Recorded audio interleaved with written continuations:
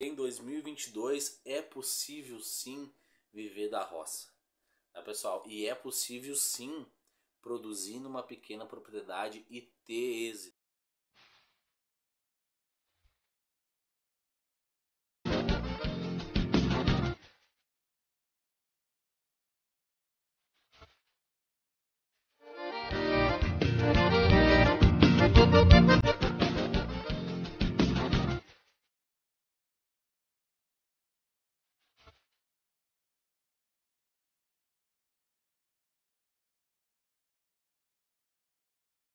Buenas pessoal, bem-vindo a mais um vídeo do canal Grande Negócio em Pequenas Propriedades. Pessoal, hoje eu quero dar mais uma dica de como ter um grande negócio numa pequena propriedade. Pessoal, vou dar umas dicas aí, tá, para vocês, para vocês terem ideia mais ou menos de como eu raciocino para quem tem uma propriedade pequena. Pessoal, eu penso em valorizar o produto, sabe? Já que a gente não pode ter um volume muito grande de vacas, de muita coisa na nossa propriedade pequena, ou de roça, ou etc., a gente tem que tentar agregar valor no nosso produto. Entendeu? Vamos supor, por exemplo, eu no leite, eu optei em vez de, de vender para o caminhão, que eles ditam quanto eles pagam no teu produto, eles ditam quanto custa o teu salário. Vocês já pararam para pensar que tu não chega para lá de cima e fala, eu tenho leite para vender a tanto. E ele, ah, tá bom, me serve o preço, eu pego. Não, ele tipo, eu vou comprar o teu leite e vou pagar X valor. Tu não quer, não entrega mais. Ponto final. Entendeu? Então, se tu trabalhar por conta, literalmente, tu vai sair disso aí, né? Tu vai sair disso aí. Pessoal, vê a logística da região de vocês, na questão do leite, e vê se vocês conseguem entregar esse leite diretamente para quem vai usar pessoas conhecidas ali, entendeu? E vocês também podem entregar para o caminhão dependendo do volume. Só que vocês tentar fazer um pouquinho a mais para no final a média subir um pouquinho, tu vender ele um pouco mais caro. Por exemplo, aqui na minha região, o litro vendido por produtores que vendem, que vende de porta em porta, o litro está custando 4 reais. A gente aqui é acostumado a vender em garrafa PET de 2 litros, né? Que venha que vem a ser 8 reais daí, né? Entendeu? Então, só que o caminhão aqui está pagando volta de 2,80, 2,90 em alguns lugares, dependendo do volume e qualidade, 3, entendeu? Então essa é uma das dicas, né? Verão, no caso, diminui essas vendas assim particular de leite, mas aumenta também é de queijo, o pessoal já consegue comprar um queijo e tal, entendeu? Aqui para mim aumenta. Desculpa aqui aumenta, porque aqui eu moro perto da, do litoral, né? Daí o pessoal vem veranear e daí eu tenho vendedores que vendem na praia.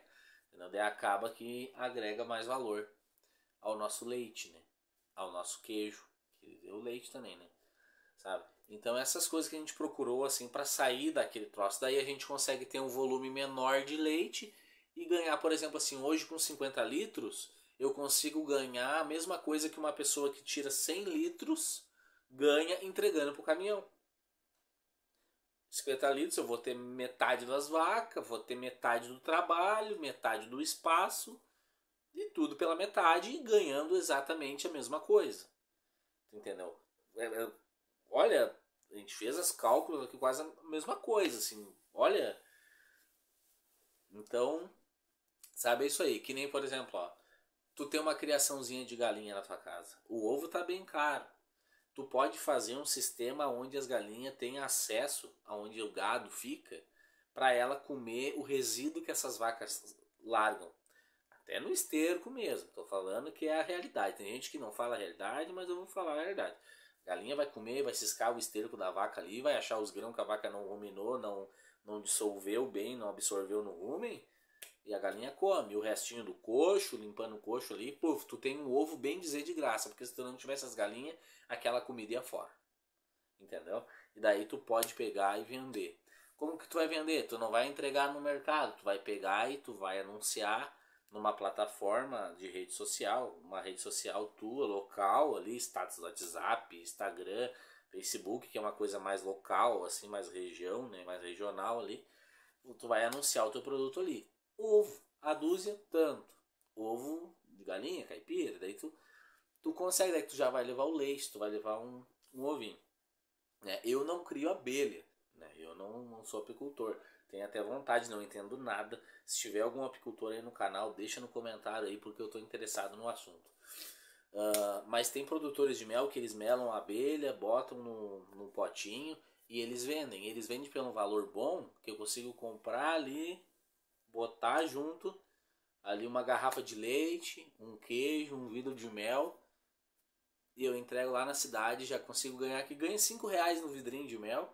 Daí já vende os produtos assim, sabe pessoal? É bem simples viver na roça, só que tem que querer trabalhar. Sabe, é umas dicas assim, ó, que nem eu às vezes pego um mel do vizinho lá e pego e entrego para as pessoas, junto com leite, junto com queijo, entendeu? Sabe, se você faz pão também, ó, que nem ó, vai morar um casal na roça, por exemplo. Pega a esposa ali, no caso, eu digo esposa, mas não é ser machista, não é isso, entendeu? Mas no caso, o homem geralmente tá lidando no campo, ali fora, tratando os animais, Daí a esposa tá mais por casa, assim, né? Não é o caso aqui em casa, porque a Kelly, ela tira leite, ela faz queijo, ela faz, ela, ela trabalha junto comigo, entendeu?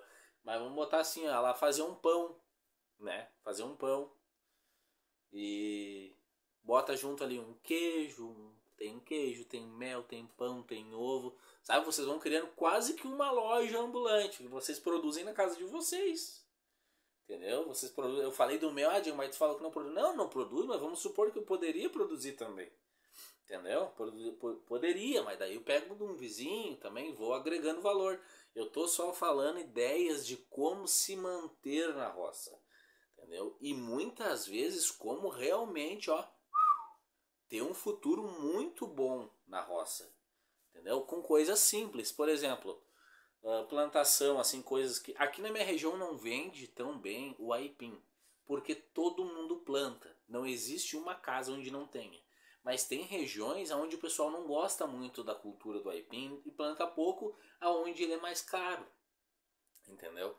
Eu aqui eu vendi muito aipim ano passado também. Eu vendia, eu descascava, olha bem, eu descascava ele, botava em pacotinhos de 1 kg e vendia ele por 4 reais. Se tu for ver, o aipim é um real sujo, mas eu, eu tinha o trabalho de entregar para a pessoa e descascadinho e limpinho. Daí para isso eu cobrava três reais, porque daí no caso o aipim custava um pila ali, o quilo do aipim. Só que daí eu descascava, fazia aquele processo que é onde as cascas ficavam pro, pros porcos, que eu dava pros porcos aquela casca, e o saquinho que daí eu tinha que comprar, mas sai, né, no caso. Daí eu largava congelado para as pessoas ganhava dinheiro, para te ver. Daí tem abóbora, né? pode plantar, tem melancia, tem várias coisinhas poucas que tu pode fazer que no fim do ano, se tu juntar tudo que tu fez ali, tu conseguiu ganhar muito mais do que um casal, um homem e uma mulher que vivem na cidade, poderiam ganhar trabalhando numa empresa, numa fábrica, alguma coisa do tipo. Entendeu, pessoal? É isso aí, sabe? Então, pode sim uma família viver muito bem numa na roça. Que nem a gente, a gente teve ano que a gente vendeu peixes, entendeu?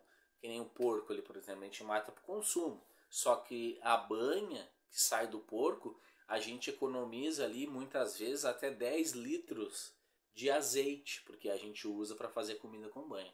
Entendeu, pessoal? São coisas simples, bonitas e gostosas da roça que até hoje, em, em pleno 2022, é possível sim viver da roça. Tá, pessoal? E é possível sim produzir numa pequena propriedade e ter êxito e ser bem sucedido. Pessoal, essas foram umas dicas meia vaga, meia por cima, que eu gostaria de convidar vocês para comentar aí embaixo e dizer qual que vocês acham que eu deveria me aprofundar para fazer mais vídeos. Valeu pessoal, espero que tenham gostado, fiquem com Deus e até o próximo vídeo.